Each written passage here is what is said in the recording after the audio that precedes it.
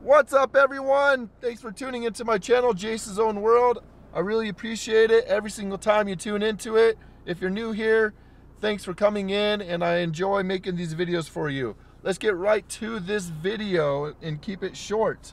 I'm going to be using my software, which is Eurodyne, and then the Maestro program that uses the Eurodyne software so that I can be custom tuned. So I'm going to show you how to download a tune that your custom tuner sends to you so that you can start logging and doing all that stuff. And then I'm going to show you how to log the information to send to your tuner with all the parameters needed that your tuner needs to give you the best, most efficient, most reliable, and then the most powerful tune that you desire out of the turbo and the setup that you have. So here I am in sunny Arizona. It's a beautiful day. Right now it is 85 degrees outside, so not too bad. Nice and sunny, perfect weather for doing this tune. It could be a little cooler, but um, in general, having cooler temperatures outside is the best for a turbo car. But regardless, you can do these tunes in the summertime in, in 100 plus degree weather or in the wintertime with below freezing weather. So let's get right into the tuning procedure. And we'll start out with your tuner sending you a tune and how you are going to program it using the Eurodyne Maestro software into your vehicle. So let's do this. All right, so some background before we get into the how-to part of this video. I've been custom tuned through a man named Frank Mabo through the Maestro program that utilizes Eurodyne software. And I've been custom tuned through him for a little over two years now. Been running a 91 octane tune. And the reason why I'm doing this new tune is because he's come up with a new software update for the Eurodyne software itself but I've also asked him if I could do an 87 octane tune for my car because I use my car a lot for work and because of the recent gas price increases in the economy right now 91 octane is just getting way too expensive for my job so I want to go with 87 octane and so I got a hold of him and he said yeah let's do the tune and so we're we we are now doing the tune so he sent me a tune recently and I'm going to show you how to install this tune with the Eurodyne Maestro software into your car. So let's get right into that. Okay, so first of all, you're gonna need the Eurodyne software tool, uh, which plugs into your OBD2 port with this end, and then this end is a USB that plugs into your computer. Then you're also going to need a laptop and obviously a tuner, and then you're gonna need your keys for this and a little bit of time. You're also gonna wanna keep your laptop charged so that it does not run out of battery when you're doing this tune because sometimes if you're especially doing this tune for the first time it can take up to like 45 minutes to an hour depending on the tune even on the off-the-shelf tunes or OTS tunes they call it it can take that long for the first time so if you have a laptop that's old that doesn't have a lot of battery power or I just recommend plugging it in so it does not get low on battery when you're downloading the tune also, if you want to plug your battery in your car in so that it does not fail as well, you can do that. Mine's pretty good, so I'm not going to do that. But let's get right into the install of this tune. All right?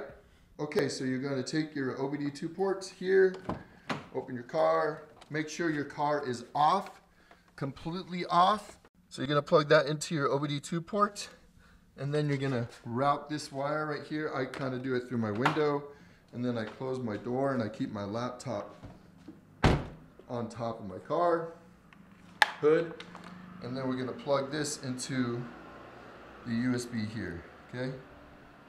Boom, all right? Okay, and so you're gonna make sure your laptop is on and that you currently have the Eurodyne uh, app right here that you need to download on your computer. It looks like this, okay? This is the Eurodyne. Double click on that, all right? And then this screen is gonna pop up. This one pops up on my computer. I don't know if it's gonna be your computer, but I click yes on this, all right? If you click no, then the, the program will not open. And so here's Eurodyne program. Uh, make sure you have the latest version downloaded or it will not pop up and it, it, it literally takes a minute or two to download the, the latest version. From here, you're going to go into your key and turn it to position two on. And what I like to do is I like to disconnect all my stuff on my battery so nothing is running so my battery does not drain. So from there, you're gonna have position two on your key and you're gonna go to right here, click to start. Okay, and then it's gonna say make sure your laptop is plugged in and that you have all the updates. I've done all that, so you click yes on that once you've done that. Okay, and then you have all these programs that pop up. You can flash your DSG with software, you can flash your ECU software with the Eurodyne server. That's the OTS tunes right there, that's what you're gonna use. But because I am custom tuned, I'm going to come down here and use this one right here, flash my ECU with a Maestro file. So I'm going to click that. I have a touchscreen computer, it's pretty cool. So once that's going, once you click that, everything goes on your car. You might hear some weird noises with your car and stuff. Okay, and so once that um, is clicked and loaded. Here are all my files that Frank Mabo has sent me. And the latest revision is the 87 AKI, AKI Base 2. That's the latest one he's done with me.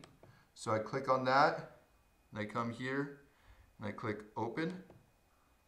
Okay, I'm just going to click out of this. That's annoying. Make sure ignition is on. That's going to pop up, and engine is off. All right? Click OK. Oh gosh, get out of there. Okay, and so now it's going to download the software. And right now you might be able to hear some noises. You might be able to hear it in here.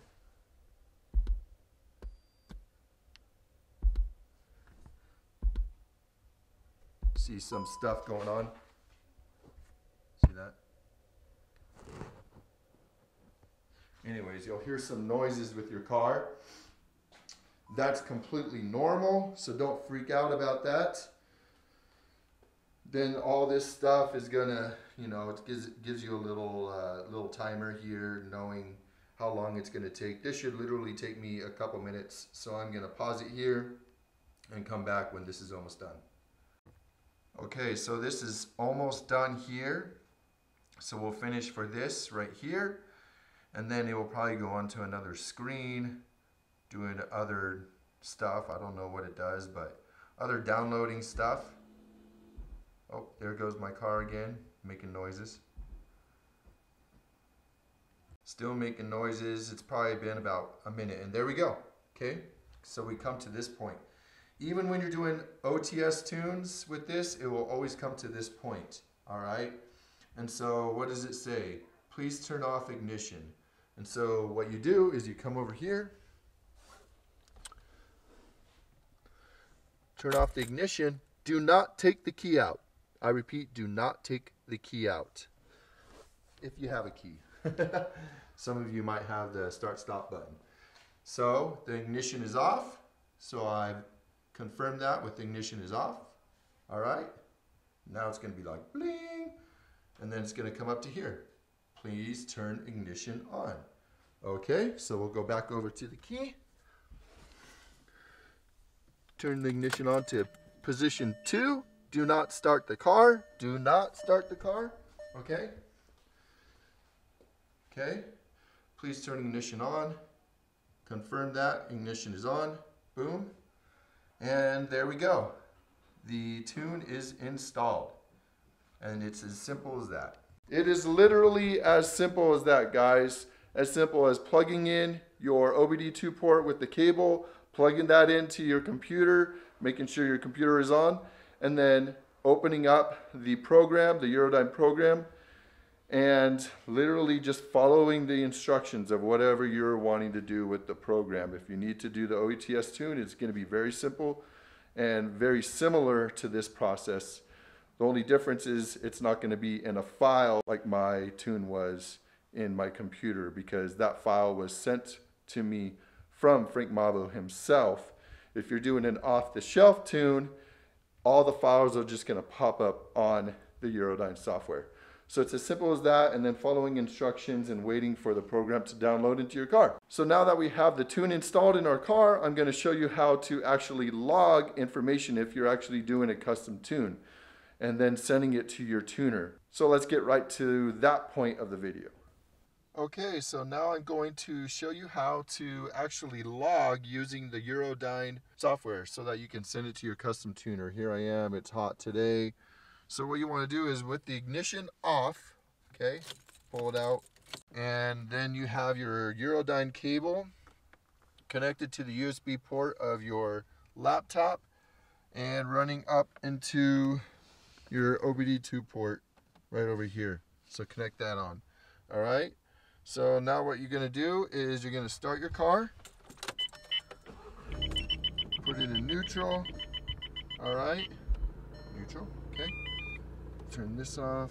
Turn this off. All right. So now you're going to go to Eurodyne software. And while the car is running, you're going to open up the Eurodyne software. Double click. This pops up. Click yes. All right. Then you're going to come over here and press click to start. So click that. And then it says basically the same thing. Make sure your laptop is charged, blah, blah, blah, that your car is charged. Click yes. Now you have all these options. What you're going to do is go to diagnostics and data logging, click that. And then all of this is gonna pop up, all right? So you're going to click get controller info. Everything's popping up right now all this stuff, all right? And underneath controller info is are all these options. Measuring blocks, read fault codes, yada yada. For this particular one, we're gonna go to measuring blocks, click on that, and then we're gonna click on select all at the top here. Boom. So all the parameters come up. Then at the bottom here, as you can see here, the bottom down here, says the log selected values. You're gonna click on that. Boom. And then everything pops up. Everything. So that your tuner, who's custom tuning your vehicle, can look at all these parameters when you're logging. Now all you got to do is go for a drive. Make sure there it's a place where there's no cops, there, there's not very much traffic. It's a safe spot. Basically, so it's a safe spot and you're gonna basically do like a second gear pull, third gear pull, fourth gear pull, whatever your tuner, whatever your tuner is asking you to do.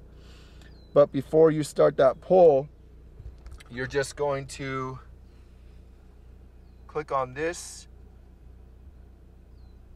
start logging to file, and then you do the pull, third, fourth gear, second gear, whatever. And then when you're done with the pull, you click on stop logging the file. And then that will automatically save the log into your computer. Make sure you have it set up in a correct folder, whichever way you want and then that way you can send that log and that file to your tuner and then your tuner is going to look at that file and if he and if he or she needs to adjust it then they are going to do that and then send you a new file to upload and then you're just going to go through this whole process again to to log until everything basically meets your criteria and the tuner's criteria so that's how you use the Maestro program and the Eurodyne software to send logs to your tuner so that you can get a custom tune.